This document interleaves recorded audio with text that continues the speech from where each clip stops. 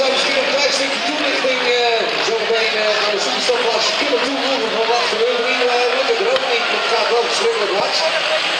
Oftewel, uh, het verhaaltje superstop hoe steekt in elkaar. We hebben door de wereld een keer geroepen en we eigenlijk op een twee superstopmotoren naast elkaar. We hebben een uitkwalificatie al eens gezegd van jongens, hier staat